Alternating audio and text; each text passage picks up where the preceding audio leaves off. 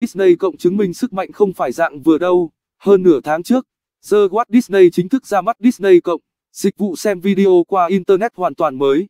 Sau 7 ngày dùng thử miễn phí, người dùng sẽ trả 6,99 đô la Mỹ một tháng hoặc 69,99 đô la Mỹ một năm để dùng được trên tối đa 10 thiết bị với mỗi tài khoản. 4 máy có thể xem dịch vụ cùng một lúc. Mức giá này còn bao gồm stream 4K nếu có. Nếu muốn làm điều tương tự trên Netflix, bạn phải bỏ ra 14,99 đô la Mỹ một tháng. Disney cộng không chỉ có hoạt hình và chương trình trẻ em, nó còn có nhiều phim Star Wars, Marvel và nội dung của National Geographic. Dù ngày đầu phát hành gặp rắc rối, Disney đã cải thiện giao diện của người dùng và sau 24 giờ đầu tiên, có 10 triệu người đăng ký.